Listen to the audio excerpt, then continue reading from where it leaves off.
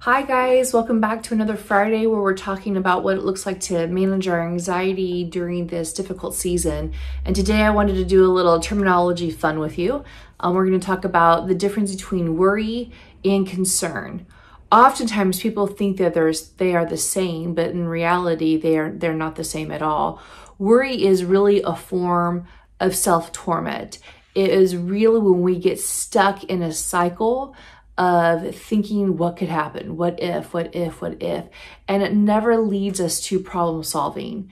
It anticipates problems that may or may not be there, which is why when we talk about the importance of mind reading and catching ourselves mind reading and, and flipping those thoughts to the truth, we want to do that when we really experience that we're stuck in a cycle of worry because when we get there, it's going to be hard to get out. So the first key is really to be able to identify it, to tell ourselves the truth, and to keep focusing on that truth until we notice that level of anxiety going down and that worry dissipating. Concern, on the other hand, leads us to wanting to solve a problem. It is more fact based and it was really more of a, a, an intentional consideration for what is happening and, and, the things around us.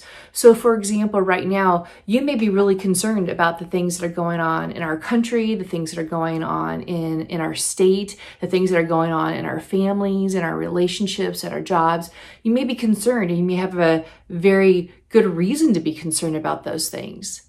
That's more fact-based that's going to want to lead you to a solution that's going to want to lead you through problem solving. So anxiety shows up when we have concern and worry. The difference is, is that worry is something that we're going to keep cycling through over and over again and get stuck in. Whereas concern says, let's figure out how to solve this and, and allow this to dissipate or, or, or leave us. And we notice that, that the decrease of that anxiety. So the key for you this week is really to think about, am I, are my thoughts right now, am I worrying or am I concerned? Which is it? Am I stuck in worry even? Or is it my, am I allowing myself to recognize what I'm worried about and, and, and move that into more of a concern that I can do something with? And if it's something that I'm just worried and I can't do anything with, I have no control over it, then how do I surrender and let that go? I hope you all have a great weekend and we'll see you next Friday.